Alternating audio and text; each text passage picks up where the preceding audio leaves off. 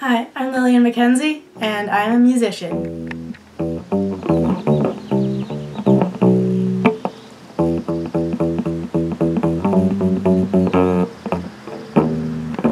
The main group I sing with is the DP Jazz Choir. Through this experience, I've been introduced to a lot of new musicians, such as Benny Goodman, Glenn Miller, Take Six, and the New York Voices. During our competition season, we went to a lot of new jazz festivals, including the Oceanside Jazz Festival, where we got to see the New York Voices perform live, as well as get feedback and comments from them. That was really cool. Some jazz vocalists don't just sing, they can also play instruments. Like Darmon Meader from the New York Voices, I'm learning to play the saxophone. I also play the ukulele bass.